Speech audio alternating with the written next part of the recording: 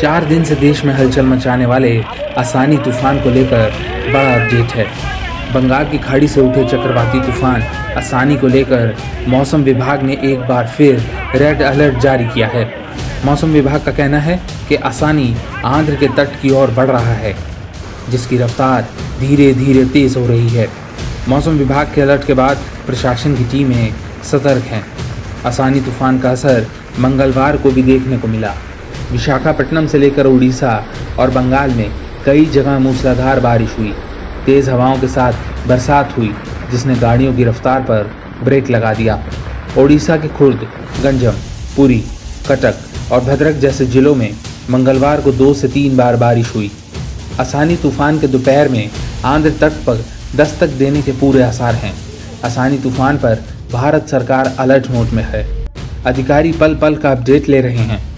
केंद्रीय गृह सचिव अजय भल्ला ने आसानी से निपटने के लिए की जा रही तैयारियों को लेकर समीक्षा बैठक की।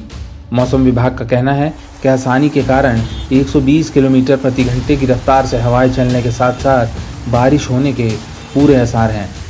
आसानी के बचाव के लिए एनडीआरएफ की टीमों ने भी मोर्चा संभाल लिया है। आंध्र प्रदेश में 16, पश्चिम बंगाल में 17 और उड़ीसा में एनडीआरएफ की 17 टीमों को तैनात किया गया है। ये सभी तैयारी मौसम विभाग के आसानी को लेकर जारी रेड अलर्ट को देखते हुए की गई हैं। साइक्लोन जो आसानी है, जैसे कि अभी तक जो लेटेस्ट अपडेट ये है कि इसमें जो हम देख रहे हैं कि ये अभी आंध्रा कोस्ट की तरफ़ बढ़ रहा है। उसमें हम देख रहे हैं कि जो आंध्रा काकीनाडा है, उससे जो है जो 210 किलोमीटर दूरी पर है और 15 डिग्री नॉर्थ और बयासी दशमलव पाँच डिग्री ईस्ट उसकी पोजीशन है। और ये अभी फ़िलहाल वेस्ट नॉर्थ वेस्ट की मूव कर रहा है।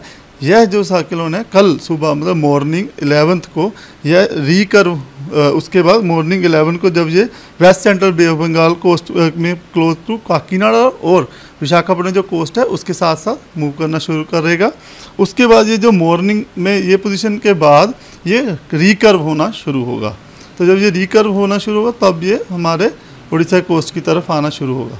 आंध्रा के लिए अभी अपडेट में रेड मैसेज भी आंध्र प्रदेश के लिए इशू कर दिया गया है।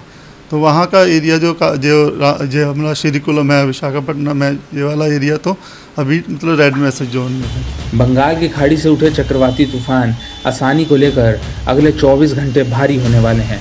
आंध्र प्रदेश के बाद ये तूफ़ान ओडिशा का रुख करेगा। आईएमडी के मुताबिक चक्रवात के दोपहर तक काकीनाडा, विशाखापट्टनम तटों के पास पश्चिम मध्य बंगाल की खाड़ी तक पहुँचने की संभावना है।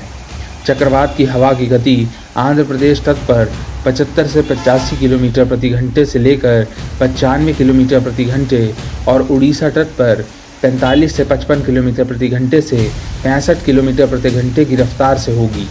मौसम विभाग ने मछुआरों को किसी भी हाल में समुद्र तक से दूर रहने की सलाह दी है।